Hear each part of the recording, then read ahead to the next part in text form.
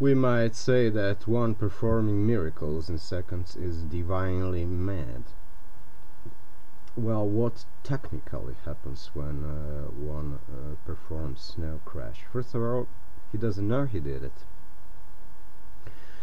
Because he, like his false ego, didn't make uh, anything. False ego is quite uh, incapable of uh, anything, uh, the least miracles. It's just a machine. It's the devil. The devil's installed his own uh, mind. Um,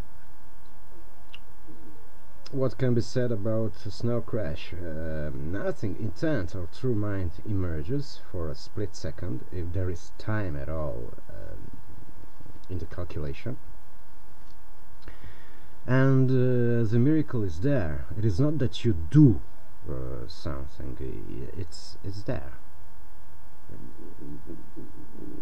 You don't necessarily think I produced a, a miracle. I don't know if saints ever uh, affirm like I did a miracle. You don't have the idea of I making anything, at least a miracle. It it happens.